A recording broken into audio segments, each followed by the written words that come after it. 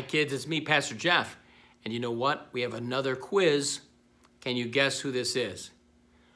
Who in the Bible, in the Old Testament? Wait, oh, wait, wait, wait. Let's bring our friend out, Rocky. Hey, Rocky, how are you? You having a good day? Yeah. Do you think you're going to get it right today? Okay, here's the question. He was a builder. Uh, no, not Noah, even though Noah was a builder. He was the one who rebuilt something in Jerusalem. Uh, close, not Ezra. He rebuilt the walls of Jerusalem. Right. You know what, kids? Nehemiah.